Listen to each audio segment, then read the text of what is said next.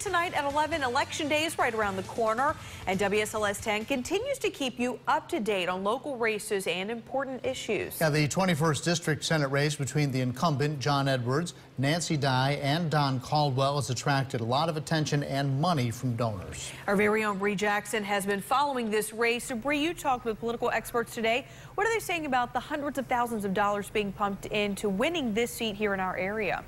Well, it's all about a, a, competitive race. Right now in the Senate, the Republican Party leads with 21 seats as the Democrats only have 19 seats. Experts I spoke with say this race in the 21st District could be a game changer.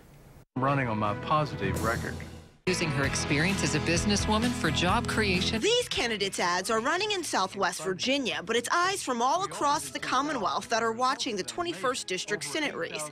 Here's a look at the overall reported contributions. According to nonpartisan group Virginia Public Access Project, Republican Nancy Dye leads with nearly $550,000. Incumbent John Edwards follows closely behind with just under half a million dollars, while independent Don Caldwell trails the pack with $61,000 raised. I do like it. We've talked to the secretary.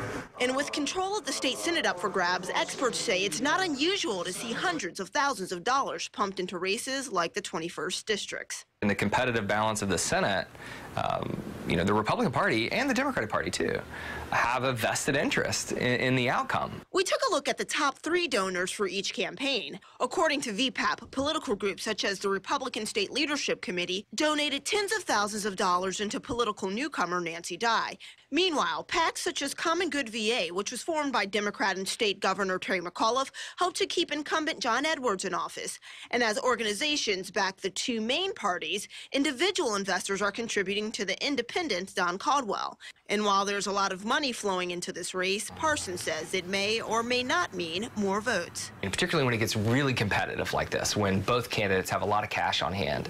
Um, the, the marginal effect of additional dollars is pretty small. Supporters hope the money given to their candidates pay off with a win on Election Day. All right, and so Election Day is next Tuesday, and leading into that day, we're going to continue to keep our viewers updated on some of the local races, including a couple of sit-downs that we're going to have with those three candidates later on this week.